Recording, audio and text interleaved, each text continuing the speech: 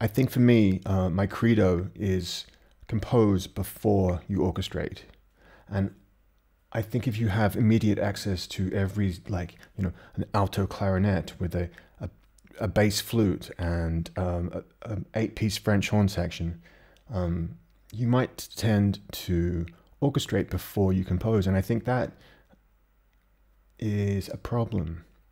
It's very easy to be seduced by all the fancy plugins and sounds. So anyway, um, my template, um, I was helped a lot by Aaron Nevezie uh, from Bunker Studio in New York, an old friend of mine, and he helped me set this up.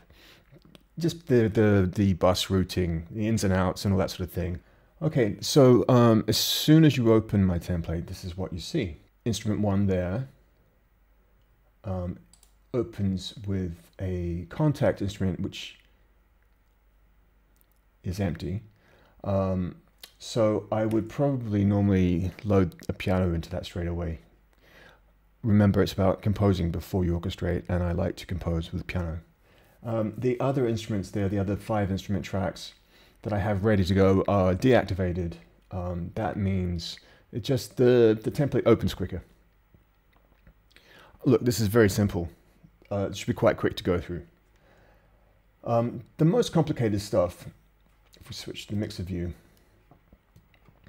um, the stems. So, of course, stemming out your piece when you're sending the de music deliverables to the mix, the dub. Um, obviously, you send stems, so um, as well as a full mix. This is set up so that we have a very quick and easy way of routing, routing uh, for some of you, the um, audio tracks, instrument tracks, MIDI tracks, well, you know, audio and instrument tracks to different stems. Now I always have uh, the five stems. So typically that will be, and I tend to like put percussion and drums into stem D, which you see there as master D. Um, and you would typically stem out um, very low sounds, say low strings or low bass uh, synth stuff, um, short notes, long notes when, when we're talking strings.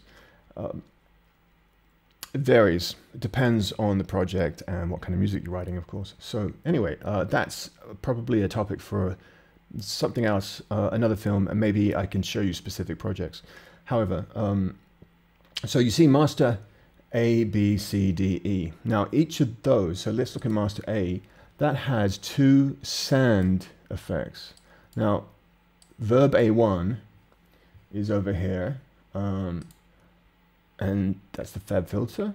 All right. And the second reverb there is, um, there we go, some eventide. Um, now, um, I can have a combination of both those um, reverbs. So obviously each stem has to have its own reverbs because, and we can see over here, stem A, reverb 1, stem A, reverb 2, stem B, verb 1, verb 2, so on and so on. Um, you know, when you're, if you were to have just one sand reverb effect for all the stems, then obviously um, when you bounce down the stems and you put them back together again the other end, your your effects will be completely misrepresented. Um, so uh, that's that. Now, uh, in some of the other films I've been uploading recently, I've been showing you some mixes I've been doing, and I've this um, new thing which I picked up from a mix with a Masters film. I've just called it feeder. Uh, basically, the input bus for feeder is called Buenos so you can see everything is going in to the feeder track, the feeder bus. So when I change the level here, that's changing the level of everything. And then that is going into the master bus here. Um, I'll talk about the master bus in a second. Um, oh, and also, um, let me just go back to the stems. Sorry. Um, I forgot to mention I have some very gentle mix bus compression on each stem. in uh, you know, specifically the UAD Neve uh, 33609C, which is a precision stereo limiter compressor. Okay, so uh, back to my feeder track. As I explained previously in other films, I can send more of the track into the master bus or less. Um, and this enables me to push the effects on the master bus more. So, um, for example, uh, any compressor or saturating or EQ or any any any effect on the master bus, you know, I can change the character, make it more crunchy, less crunchy, that sort of thing. So, for example, um, as you see on my master bus, they're deactivated at start, just makes it quicker. Let's activate that one. so this is the uh, Studer A800 tape plugin from Universal Audio, which I love. Let's open that up. Um, and, you know, of course, it's specific to the music you're doing, but typically, I would uh, go for the GPO 9 30 IPS, uh, maybe increase the input a bit, but decrease the output.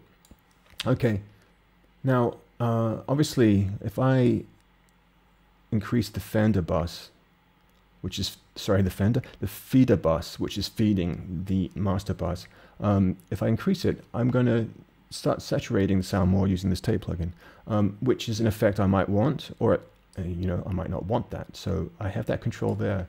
Um, that's really useful for me. That's part of my template now. It's a new addition.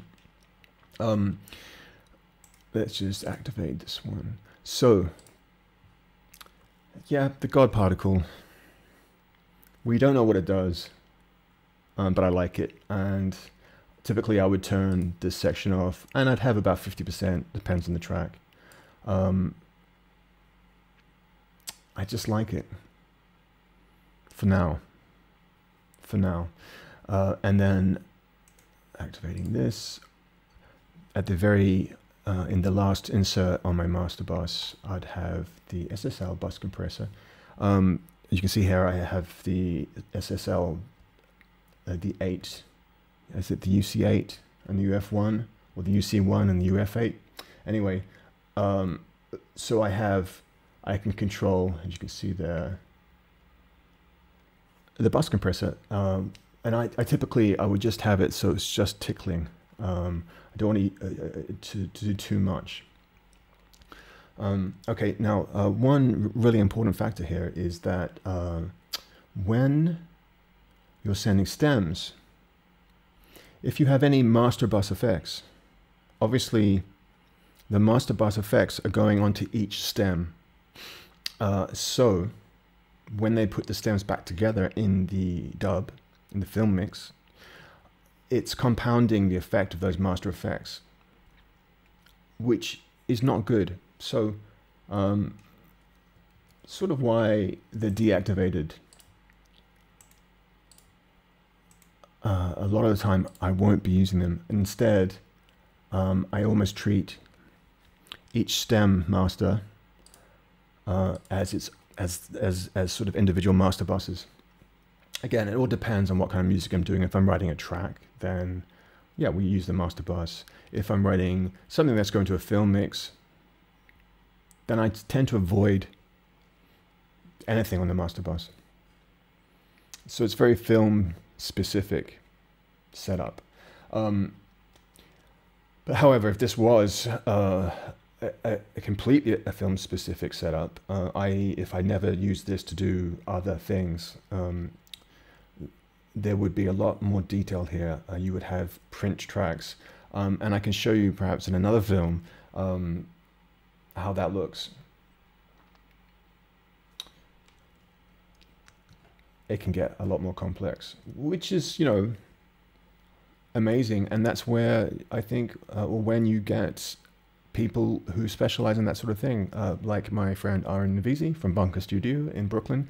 Um, you know, he specializes in film mixing, so his his template is incredible, and um, you know, it's the kind of thing where you just hit record and it prints all the stems at the same time, um, and total mixes, and um, it saves so much time. If you have 40 cues and you need to bounce down stems for every one, then obviously it needs that will happen at the same time. Um, so I'm aware that this template isn't complete in that respect, but for me, it keeps me agile and flexible, and that's the most important thing for me. Also, the other thing I should mention is that as well as the main out here, you'll see something called dialogue. Okay, that's simply uh, when I import a film, which is typically on a QuickTime, into this, I want the audio of the film to go to its own output, um, which is here called dialogue, which is basically, you know, everything that's not music will go through there. Um, so uh, when I'm bouncing everything down, you know, obviously I still want to hear what's happening in the film, but when I'm bouncing or printing the music, we don't want that to be in the final mix. So it's there, it's audible, it's, uh, I can, you know, I have the ability to change the levels of see the master bus and the dialogue bus. So, you know, I can do a little bit of mixing. Also, if I want, I can export a QuickTime from, you know, directly from Pro Tools. And um, often I would do that to send to the director so he or she can, you know, give me feedback notes on the music. Um, and it's always good for them to obviously hear the dialogue uh, while they're watching the QuickTime. So it means I can do a rough mix. And, you know, typically the, the music would be right down, the dialogue would be right up. Um, unless there's something I really want them to hear. But yeah, a more realistic mix is that. anyway, um, okay, so I think that's it. Um, I have this template set up because there are certain repeated tasks which I want to avoid doing over and over again because you know you're doing say like 30 to 40 cues in a film or a TV show um, if you have to set up the buses and the um, the insert effects the master bus effects uh, instrument tracks for each time um, you're looking at say you know it's going to take six minutes. Um, if you're doing that for every cue, but not necessarily uh, limited to each cue, you may do, you may write, say, 10 versions of Q1. You know, so that sort of repeated activity adds up uh, and takes, would take days uh, of, out of your life. okay, yeah, to sum up, the template is about saving time. It's about agility and flexibility.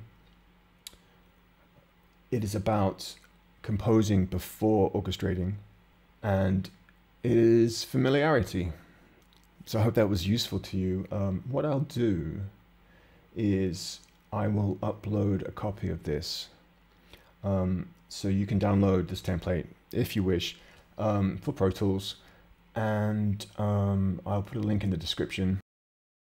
All right, I hope you enjoyed that. Thanks very much for watching. I hope you found it useful. Please do subscribe um, to see more films like this. Also, leave a comment if you want. Um, you know, tell me what I'm doing wrong, right? Or if you have any questions about how uh, I'm using this, eh, maybe I missed out something. You know, please leave a comment. Um, I'm happy to respond to those. Okay, thanks very much. See you soon.